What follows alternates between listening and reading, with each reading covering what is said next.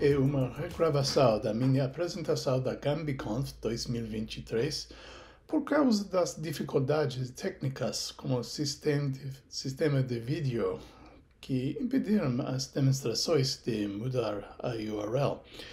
A resolução deste vídeo é baixa para que vocês possam ver a URL mais facilmente. Olá, São Paulo! Meu nome é Dave Aronson, sou o T-Rex de Kudosaurus e vou aqui no meu pterodátilo de estimação para falar sobre a minha gambiarra que eu chamo de Jennifer. O nome Jennifer não é uma referência ao nome da menina Jennifer, nem a rainha Guinevere, nem a bebida holandês, em verdade pronunciada Genever, como eu descobri este ano. Genever é uma abreviação para uma frase em inglês, generate a version, ou em português, gerar uma versão. Mas uma versão do quê? E por quê? Vocês que viram a GambiConf do ano passado em Lisboa podem lembrar de mim falando em inglês sobre teste de mutação ou, em, em inglês, mutation testing. Não foi a única vez que eu fiz essa apresentação. Eu a fiz cerca de 25 vezes como a introdução em muitas linguagens humanas, o código em várias linguagens de programação e com durações diferentes, de 20 minutos, minutos a 70. Eu digo tudo isso não para gabar, hum, talvez um pouco, mas principalmente para contar por que eu criei Jennifer. Manter uma apresentação em PowerPoint ou Keynote faz um arquivo muito grande e banário. Por isso, é muito difícil de compará-los ou de encontrar uma frase boa de uma versão anterior para colocá-la numa versão nova. Por estas razões, eu queria um jeito de manter uma versão primária, com a introdução e o código em todas as, linguagens, as linguagens que usei, e com, com todas as descrições, todos os pedaços que não mudam, etc. Então, eu poderia gerar uma versão com, por exemplo, a introdução em japonês, o código em Ruby, e cabendo em 45 minutos. Ou, como a introdução sueca, o código em Elixir, uma linguagem, uma linguagem criada por um brasileiro, e cabendo em 30 minutos, sem precisar editar o arquivo. Muito. Idealmente, eu poderia fazer uma nova versão por adicionar as novas sessões nas novas linguagens e passar novos argumentos para um programa para escolher essas linguagens e as explicações longas, curtas ou médias. Eu sabia que o primeiro passo seria pôr a apresentação num formato textual, além das imagens.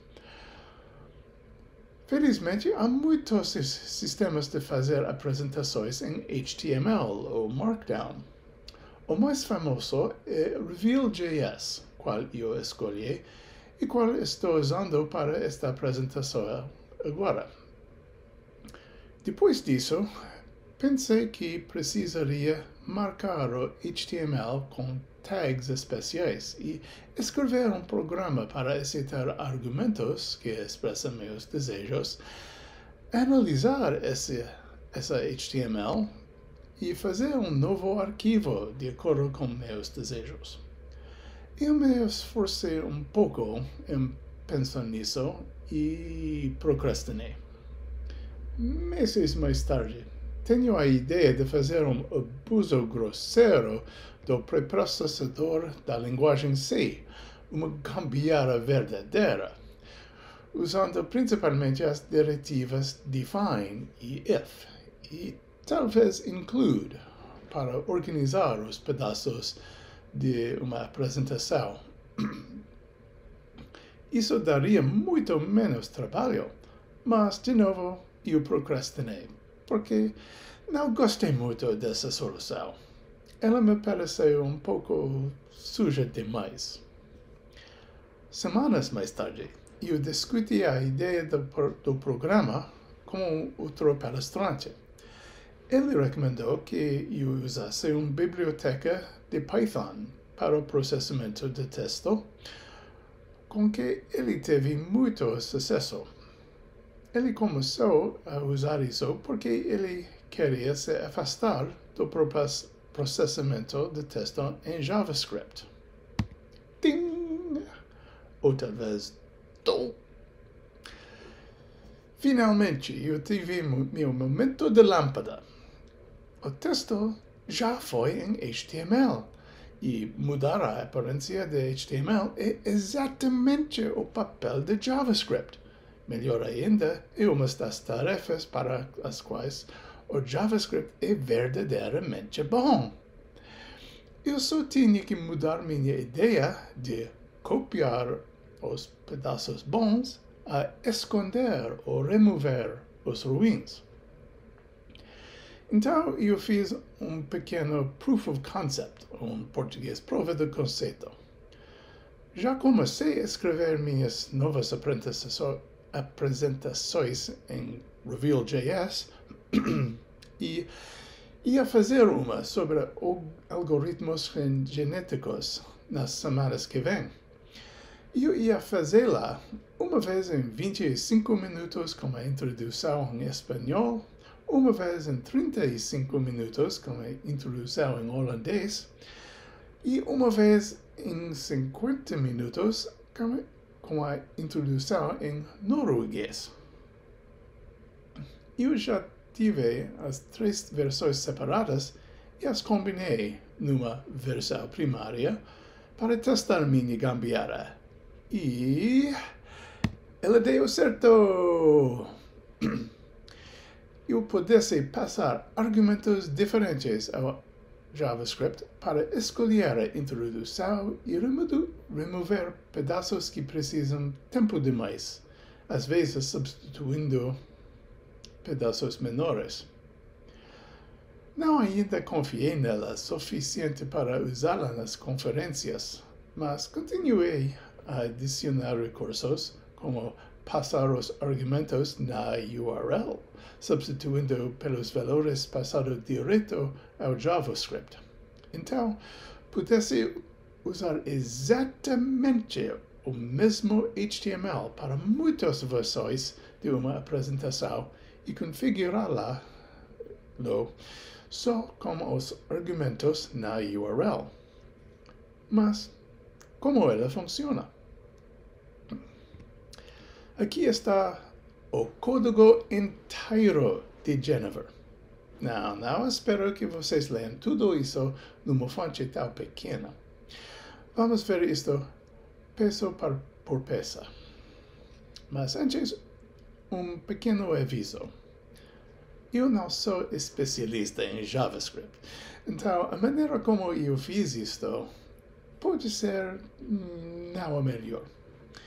Não tome isso como um exemplo de código ótimo de JavaScript, mas vamos dar uma olhada. Inicialmente, ele aceita só um argumento opcional passado ao JavaScript, que é uma lista de filtros, padrão para uma lista vazia. Cada filtro é um string. A lista é analisada por uma função que usa um regex, ou expressão regular, para dividir a string em uma chave, uma comparação e um valor, e os armazena num dicionário. As chaves representam escolhas, como linguagem humana, linguagem de programação, tempo mínimo ou máximo de qual uma coisa precisa, ou qualquer outra coisa que queremos escolher. As comparações são igual, não igual, menos, menos ou igual, maior, maior ou igual, e uma coisa especial que explicarei mais tarde. As comparações de ordem são usadas só para os valores numéricos e igual ou não igual são para os números e os strings. Por isso, vocês podem usar um filtro como linguagem e português, ou especificamente português brasileiro, mas não linguagem é maior que português. Isso simplesmente não faz sentido.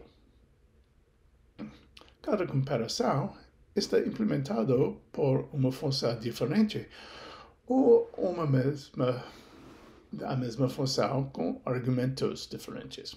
E vamos ver estas funções um pouco mais tarde. Cada chave se torna uma chave num dicionário cujo o valor é uma lista de duas coisas: a comparação e o valor do mesmo filtro. Por exemplo, a lista dos filtros linguagem e português e tempo min é menos ou igual a 30 se torna o dicionário com as chaves linguagem e tempo min e os valor, val, valores como isto. Observam que o 30 é um número sem aspas. Então, ela faz a mesma coisa como os argumentos passados na URL, mas um sinal de igual pode quebrar um filtro na URL. Por isso, Jennifer tem uma função que remonta os filtros quebrados assim. Ela leva os URL parameters como pares de chave e valor e trata só os começam com GV. Isso é como sabemos que é para Jennifer, não algum outro programa. Se tem o valor, junta-lo com a chave e um sinal de igual. Se não, usa só a chave. Simples. Depois disto, tempo, eh, temos uma lista de filtros num formato, formato exatamente igual a lista passada no JavaScript e a enviamos para a mesma função. Mas em vez de enviar também um dicionário vazio para encher, enviamos o dicionário dos filtros passado no JavaScript. Então, se passarmos na URL uma comparação ou um, valor diferente para a mesma chave que no JavaScript, o que passamos na URL substitui o que passamos no JavaScript. Então, os filtros no JavaScript podem ser usados como padrões, para talvez serem substituídos pelos filtros na URL ou não. Por exemplo, se temos a chamada para Jennifer assim, especificando a linguagem espanhol, mas a URL é assim, especificando a linguagem português, vamos ver a apresentação em português, não espanhol. Agora que Jennifer tem todos os argumentos, ela os aplica, aplica ao documento filtro por filtro. Para cada um, ela precede a chave, a chave com a palavra data, como se faz para atributos personalizados e faz algo que depende da comparação. Para a comparação de não igual, é muito simples. Ela usa Query Selector All para encontrar todos os elementos, elementos com esse valor para esse atributo e os remove. Para igual, é quase mesmo. Ela encontra todos os elementos com esse atributo de qualquer valor itera através deles e remove os que não têm esse valor. Para as comparações de ordem é um pouco mais complexo que isso, porque precisa converter os atributos de strings em números e verificar suas relações aos argumentos. Ela faz isso por encontrar todos os elementos com o atributo e para cada um usar uma função de comparação para verificar se a relação desejada verdadeira e, se não, remove o elemento. As funções de comparação são muito simples. Eu poderia usar literais de função, ou em inglês function literals, em vez de funções reais, mas então não, não poderia fazer a próxima comparação tão simples. Isso é a coisa especial de que eu falei anteriormente, a comparação de arroba. Isso é útil quando queremos mostrar os elementos cujo algum atributo mínimo, como um nome que termina em min, é menor que algo limite, que, nos declaramos no filtro, e algum outro atributo máximo, com quase o mesmo nome, mas terminando em mass em vez de min, é maior que o mesmo limite. Principalmente eu uso isto para marcar alguns elementos como mínimo e máximo quantidade de tempo para os incluir. Por exemplo, se tenho algo que eu quero, quero dizer e poderia dizê-lo em um minuto, cinco ou dez. Talvez eu queria, quereria dizê-lo de maneira curta quando tenho menos que 20 minutos para falar, de maneira média quando tenho 20 a 29 minutos, minutos e de maneira longa quando tenho 30 minutos ou mais. Se tenho, por exemplo, 15 minutos, minutos e uso o filtro tempo arroba 15, isto faz a mesma coisa como se eu tivesse passado os filtros tempo min é menor ou igual a 15 e tempo max é maior ou igual a 15. Isto é como eu faço uma versão com aproximadamente, aproximadamente a duração que quero. E agora uma pequena demonstração. Aqui está a chamada para Jennifer no fundo desta apresentação. Veja que não tem nenhum filtros. E aqui está o código do próximo slide. Se irmos ali, o que vocês pensam que aparecerá? Depende também da URL, então vamos lá e e vemos que não tem nenhum filtros lá também. Quem pensa que não veremos nada? E quem pensa que veremos tudo? Algumas outras respostas? Vamos lá e ver. Vemos tudo porque Jennifer não funciona para copiar os pedaços bons, mas remover as ruins. Não dissemos o que queremos, então Jennifer não sabe o que remover e não remove nada. Mas agora vamos mudar a URL por adicionar o argumento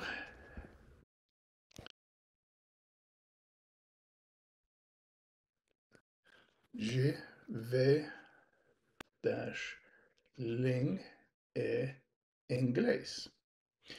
Se agora nós recarregarmos a página, agora vemos só a versão em inglês. E podemos fazer a mesma coisa com francês e português.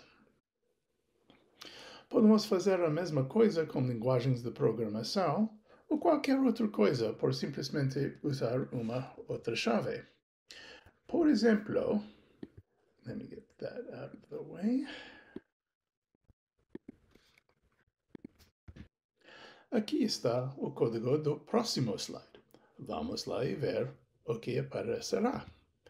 De novo, vemos tudo, porque de novo, Jennifer não sabe o que remover. Mas vamos mudar a URL por adicionar o argumento gvling prog, linguagem de programação, e C. E recarregarmos a página. Agora vemos só a versão em si. E podemos fazer a mesma coisa com Elixir. E com Ruby. Mas que tal a duração?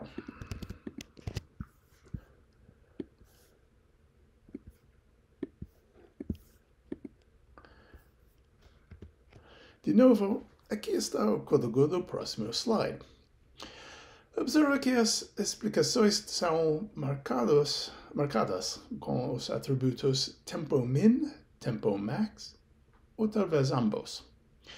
Queremos a explicação curta se temos menos que 20 minutos para falar, a média se temos de 20 a 29, 9, e a longa se temos 30 ou mais. vamos ver, eh, vamos lá e ver o que aparecerá. Como antes vemos todos porque não dissemos a Jennifer o que remover, mas vamos mudar a URL de novo. Podemos dizer, se temos, por exemplo, 15 minutos para falar, GV tempo min menos ou igual a 15 e tempo max é maior ou igual a 15 e oops, messed up something there. Tempo. E isso dá certo. Mas é um pouco chato precisar dos precisar dar ambos os tempos mínimo e máximo quando são geralmente o mesmo número, né? Podemos dizer, em vez desses dois argumentos,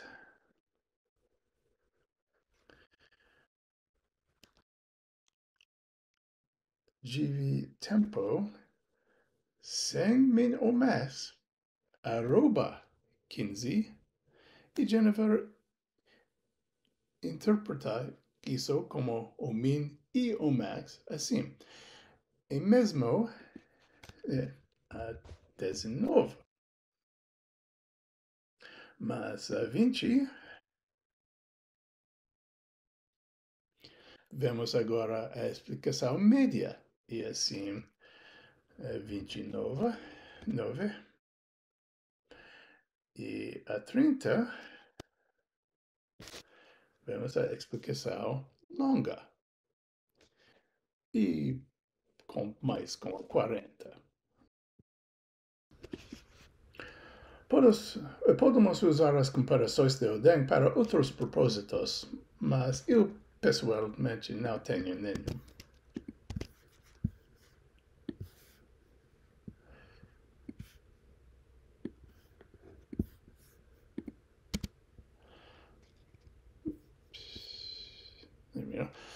Agora, eu espero que vocês entendam como, com uma mini gambiarra chamada de Jennifer, eu posso alcançar meu objetivo de manter uma versão primária de uma apresentação e produzir rapidamente e facilmente uma versão com uma linguagem humana, uma linguagem de programação e, e uma duração aproximada de minha escolha.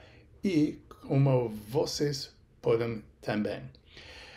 E agora, se há perguntas, etc., elas agora, or at least I did at the time. E se vocês pensaram em algo mais tarde, aqui estão minhas informações de contato e as URLs de Jennifer e dos slides dessa, desta apresentação completo com um roteiro.